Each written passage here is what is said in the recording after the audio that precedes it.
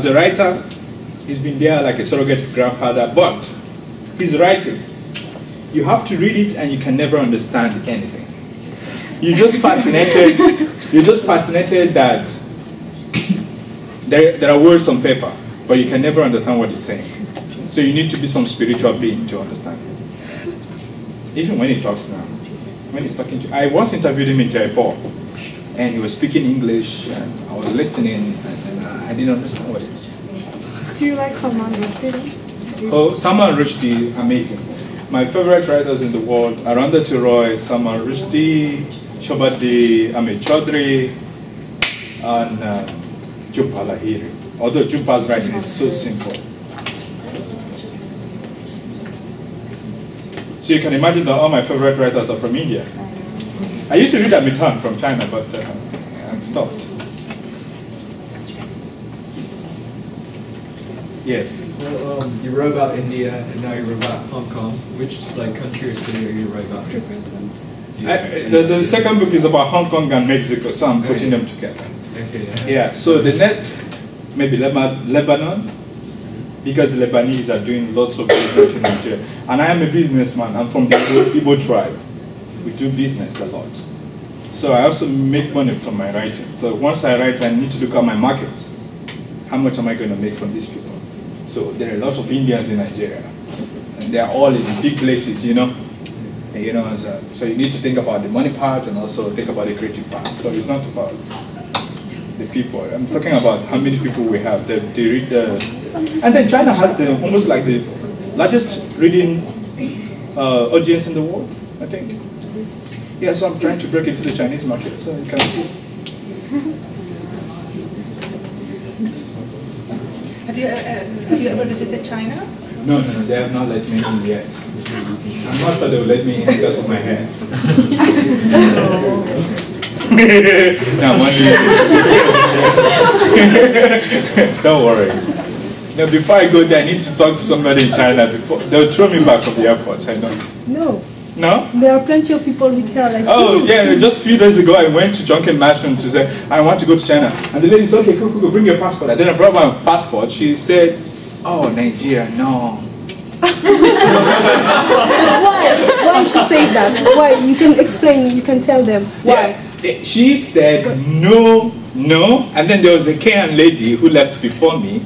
She got a visa, mm-hmm. and then she tells me, "Oh no, for Nigerian passport, because we are troublemakers, right? But we have Chinua Achebe, we have Chimamanda Adichie, we have everybody. We have Fela. Soyinka, Fela, thank you. And then they say no to me. Why? so keep China. Keep China until they say, "Oh, come." Okay. Yeah. yeah, keep like, you know, I, you, you have the paper already, so you know what I'm going to talk about. And even if I read it, it's not going to actually make a lot of sense to you. So I'm going to talk somehow out of the paper so that I, I don't get predictable. I don't, because me, that's how I teach. And most, most teachers, when I went to university, they brought me with their shirts. Sorry for using shit. Uh, sorry, I'm not supposed to use it in a university. When I went to university, teachers bored me with their methodology. They were always reading from textbooks that I had with me. And it didn't make any sense to me. I'll just come to class because I wanted to write attendance list and go home and continue with my life. You know. But today, I'm going to make this very interactive. For those who know little about Africa and those who know more about Africa, for us to talk. Africa is a continent with about 54, 53 countries. And last, in 2012, I went to Portugal for Sandbox Summit and I met this Egyptian. And he was there telling everybody that he's not an African. He was very passionate about that. And I thought, okay, he's all right.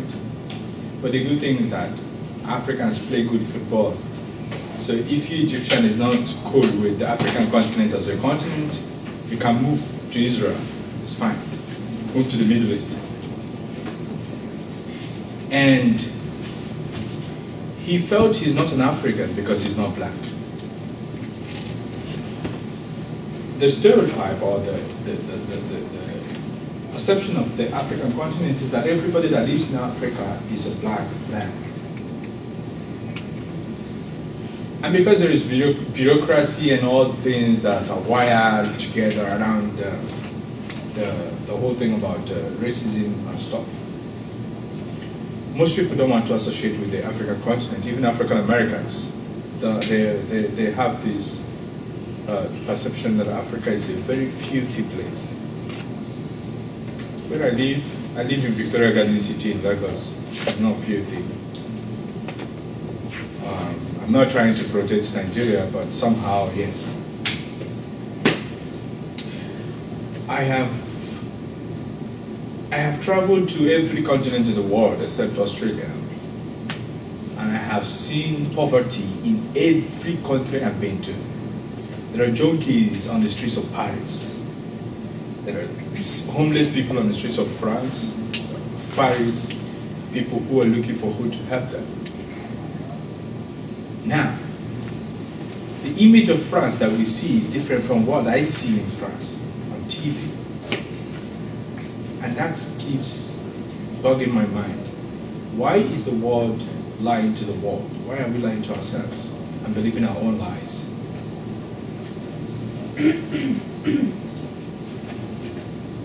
I have been to Uganda. I have been to Kenya. I've traveled to some places. Uh, I've been to Kigali in Rwanda. And this Rwanda is a country that everybody thinks is reading with war. But it's actually one of the strongest economies in the world at the moment, the way the president is positioning it. And the people are very um, accommodating. See, this, this, this issue is not going to be political propaganda. I'm not here to, to tell people, oh, Africa is the best place. But let me tell you the truth. Every money that I have spent in Europe, I made from Nigeria. I've never made one dime in Europe, except when I won the Prince Claus Fund last year. I've never made one dime in Europe because I can't speak French, so I can't work in any restaurant. And as a very handsome young man, I can't work as a waiter. Can I? As a Nigerian, you can't. Nigerians don't like to do their jobs. Even the waiters in Nigeria, they don't like to be waiters and waitresses in Nigeria. They don't want it. So when they are working there, they could have been forced to work there maybe by family or something, or there is pressure to get money, so they do it. So when they are serving you, they just drop your food like this. Oh, come on, take this. So every Nigerian's dream is to be a graduate and work in some big company owned by a Chinese man or controlled by an Indian. So they end up being slave in their own country. And that does not make sense to me as a creative person. So I am jobless. What I do is enter plane and travel every day. Friendship also is not a big deal to me because I change my friends the way I change my clothes. So that is to say, I don't have friends. Because I'm not there for them. I'm never there. And they're never there for me. So there is no need. That sounds very harsh, I know. Some students walked away from my class when I was teaching in Uganda because I said something like that. Say, you're not a human being. You don't have heart. I don't have heart because the world is an empty world where you exist alone. Nobody goes to your grave with you. You go alone. So there is no need building out this, yeah, I'm your friend, my best friend, my best friend, my best friend. I don't have that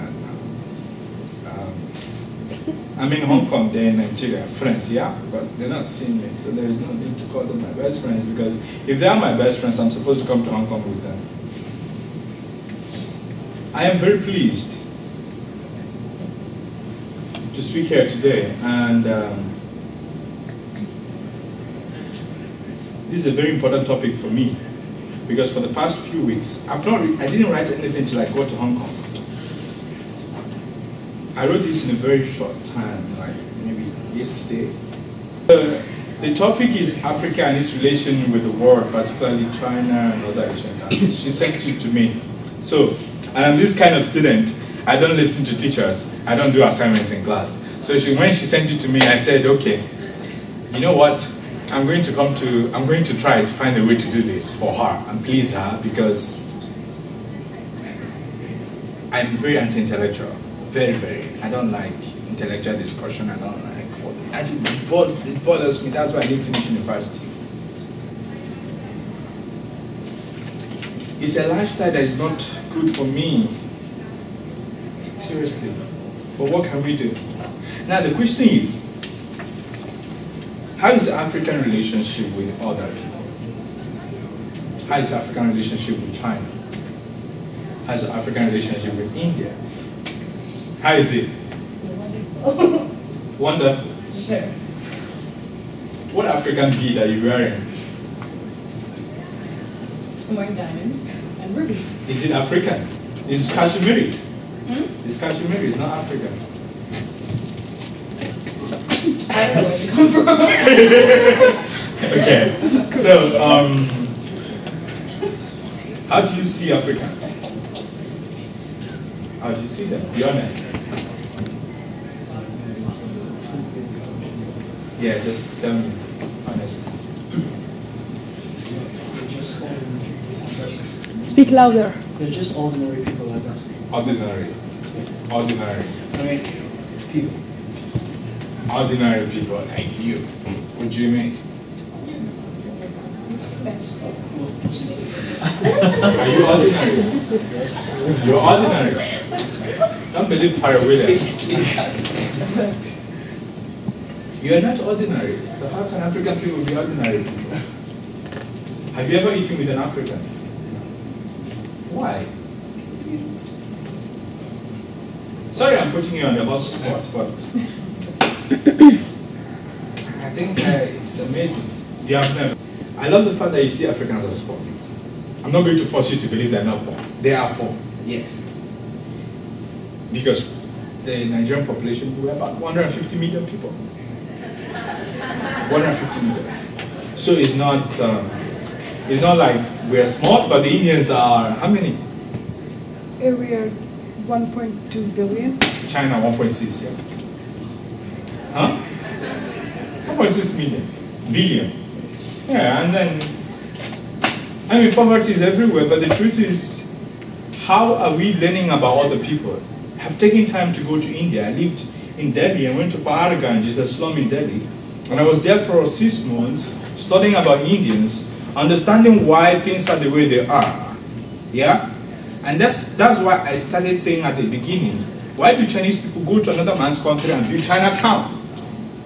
Why can't you just move into the cities, live with the Nigerians, understand what they're doing, why they are poor, why, do we, why they are the way they are? It's not like we are forcing people to act the way we want them to act, but we need to understand the diversity in cultures, the divers- diversity in education, the diversity in weather and everything else. And that's what Indians in Nigeria have done.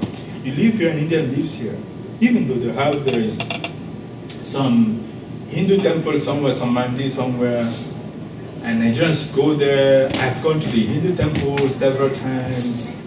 I've worshipped with them. It's amazing how people they've been able to do this. But I can't say I have a Chi- I don't have any Chinese friend in Nigeria. Never. Even to walk into the Chinese embassy is a problem. So uh, maybe the reason why I came to Hong Kong is to tell you people to open the doors of your embassy for us to come in. We're not a threat. We're not monkeys. We are humans. Chimamanda is a Nigerian, she's an African. Chinua is a Nigerian, she's an African. Wole Soyinka is. Ngugi wa Thiong'o, Mariama Bâ. They're all Africans. They're people who reason like other people. They've written the most amazing literature in the world. We have to stop. You don't see a black man and you think, or even a black man from America, you think he's some African monkey. It doesn't make sense. So, and also we're not intellectually backward. We're not. There is a group called Sandbox, Sandbox Network. They have uh, members in Hong Kong as well. It's a global community of young innovators under 30 years. I was the first African to join Sandbox, and I joined Sandbox when I was living in India. There's an Indian um, scientist called uh, Apav Mishra. He's from Mauritius. He founded the Glabanator. He's, uh, is a, is, a, is, a, is, a, is a machine used by paralysis victims to um, interact with people. And I think he's, now he's a professor in Cambridge or something. He's very young, maybe like 20 years or 21. And he introduced me to Sandbox, and I joined. When I got to Sandbox, I figured that the world is filled with young people who are struggling every day to change the world the way they want the world to be. And they didn't say, oh, because he's an African, he doesn't have anything to offer to the world. So I joined Sandbox. And Sandbox has actually shaped the way I think about the world. It has shaped my life. You know, and we have amazing people in Sandbox who are very intellectually even I'm intellectual, and it's amazing how our lives have moved forward with Sandbox. And I think every student in uh, University of Hong Kong should try applying to become a Sandbox. It's amazing, seriously.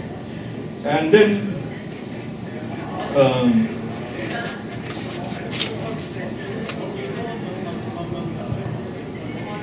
uh, just last year, while on the plane from Paris traveling to Uganda to attend the Activism Festival, Right, Activism Festival is a festival organized by a very young Ugandan called uh, Besikwe Drive. Uh, and my trip was sponsored by the Prince Claus Foundation, who gave me money to travel around the world. Have you heard of Idi Amin of Uganda? You should have heard of Idi Amin of Uganda. Idi Amin. Idi Amin um, was the former president of Uganda who deported Indians in 90 days from Uganda in 1970s. And he said, I'm sending these people back to Uganda so that they will leave all the businesses to us, Ugandans. And Indians were so heartbroken. But you know what happened years later when he died? The new president said, Oh, we can't do without the Indians. so the Indians were back again. And now every mall or shop in, in Uganda is owned by an Indian, and also in Kenya. So it is about how people see the world, and that was how Amin saw the world. So when I went to Uganda, I was I was fortunate enough to meet his grandchildren, and they took me to uh, to places where I talked to them about Idi because that was why the Europeans sent me to. Um, so while I was traveling to Uganda, I was on the plane with uh, an American Messiah, called Americans Messiah. Yeah. They see themselves as Messiah. She was flying to Uganda to finalize an adoption process. She was adopting three Ugandan children